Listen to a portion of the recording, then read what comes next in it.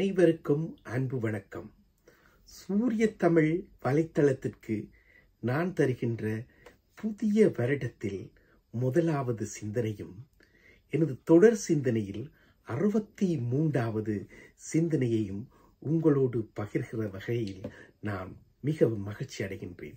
இன்றைய சிந்தனை கருத்தாக இருப்பது ஒரு பிரச்சனை என்று சொல்ல வந்தால் ஐந்து நிமிடம் கேளுங்கள். என்பதுதான் எனது கருத்தாகவும் சிந்தனை துளிகளாகவும் இருக்கிறது. ஒருவர் மிதமிஞ்சிய மன அழுத்தத்தில் இருக்கும்போது அவருடன் ஐந்து நிமிஷம் பேசுவது எப்படி? அவரின் ஒட்டுமொத்த பிரச்சனையை தீர்க்குமா? அல்லது தீர்க்காம விடுவாக அல்ல? ஆனால் ஐந்து நிமிடம் செலவழியுங்கள் என்பது எனது கருத்தாக இருக்கிறது. அப்படி தீர்க்கவே தீர்க்காது என்று அல்ல.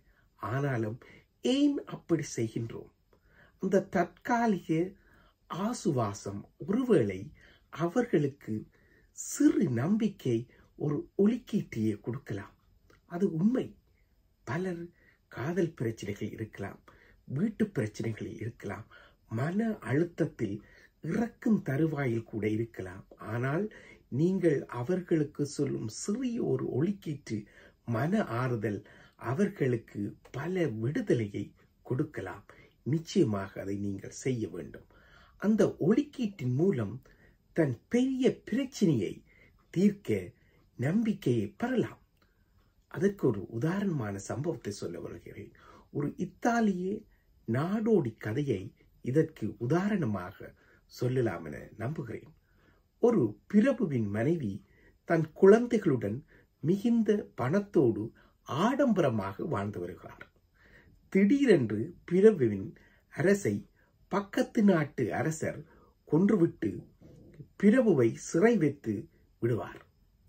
பிரபுவின் மனைவி தன் கை குழந்தையுடன் வளர்ந்த குழந்தையுடனும் கப்பலில் தப்பித்து செல்வார். கப்பல் ஒவ்வொரு தீவிலும் நிற்கும் பொழுது அவர் இறங்கி தீவில் தனிமையே அமர்ந்து அழுது மறுபடியும் திரும்பி கப்பலுக்கு வருவார். அப்படி அழுது கொண்டு இருக்கும் போது கடல் கொள்ளையர்கள் அக்கப்பலை தாக்கி தங்கள் கப்பலோடு கட்டி இழுத்து கடத்தி விடுகிறார்கள். இவர் ஒவ்வொன்று அழுது கொண்டு கரைக்கு வரும்போது தன் கை குழந்தையையும் குழந்தையையும் கப்பலோடு கடத்தப்பட்ட உண்மையை அறிந்திருப்பார். ஒரு அம்மாவுக்கு எப்படி இருக்கும் நினைத்து பாருங்கள். கணவன் சிறையில் குழந்தைகள் கப்பலோடு போய்விட்டார்கள். இனிமேல் தான் சாகத்தான் வேண்டும் என்று தற்கொலை முடிவுக்கு போக நினைப்பார். அப்போது அங்கே ஒரு பெண்ணு ஆடி நிற்கும். அந்த ஆட்டை பார்த்ததும் ஏதோ ஒரு மறுமலர்ச்சி வரும். ஆட்டை பின்தொடர்வார். ஆடு ஒரு குகைக்குள் செல்லும். அங்கே ஆடு அப்போதுதான் போட்ட இரண்டு குட்டிகள் இருக்கும். இப்பெண் அந்த ஆட்டுக்குட்டிகளை எடுத்து வாஞ்சையோடு நெஞ்சில் வைத்துக் கொள்வார். ஆட்டிக்குட்டிகளோடு குட்டிகளோ அவர் மார்பில் சுரக்கும் பாலை குடிக்க ஆரம்பிக்கும். அப்படி தன்னையே தாயாக ஆட்டுக்குட்டிகள் நினைத்து பால் குடிப்பது இவருக்கு பிடித்திருக்கும். அப்படியே அந்த பெண் ஆடோடு தன் குட்டிகளோடும் கதகதப்பாக படுத்துக்கொள்வார் தான் தற்கொலை செய்யக்கூடாது என்று நினைப்பார். அப்படியே ஒரு வருடம் அத்தீவில் வசிக்கும்போது இன்னொரு கப்பல் வரும். அக்கப்பல் வியாபாரி அவரை தன் தங்கியாக நினைக்கிறேன் என்று அழைத்து செல்வார்.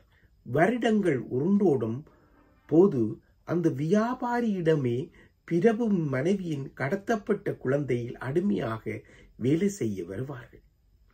தாய் குழந்தைகள் எல்லோரும் சேர்ந்த பிறகு தங்கள் தந்தையை போரிட்டு மீட்டு குடும்பமாக ஒன்று சேர்வார்கள் இக்கதையிலே அப்பெண்ணின் பெரிய மன அழுத்தமான குடும்ப இழப்பை குடும்ப பிரிவை இந்த இரண்டு பச்சளம் ஆட்டுக்குட்டிகள் தற்காலிகமாக தீர்க்கின்றன.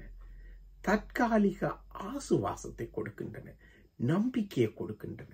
அந்த தற்காலிக ஆசுவாசம் கொடுத்த நம்பிக்கையில் அவர் பெரிய விஷயத்தையே விடயத்தையே சாதித்து விடுகிறார். நம் அனைவருக்கும் இது பொருந்தும்.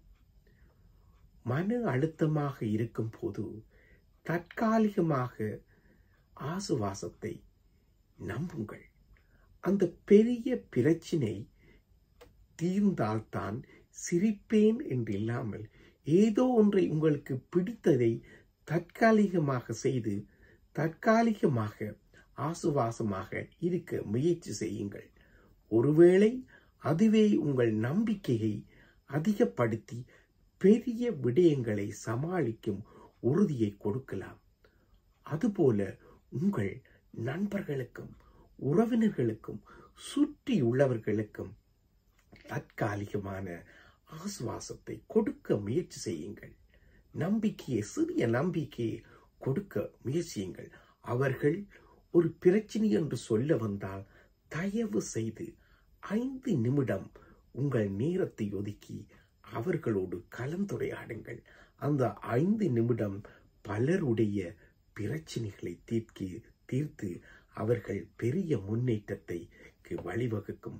அதற்கு நீங்கள் ஒவ்வொருவரும் காரணமாக இருக்கின்றீர்கள் என்ற நம்பிக்கையோடு இந்த சிந்தனையிலிருந்து விடைபெறுகின்றேன். நன்றி வணக்கம். சிந்தனை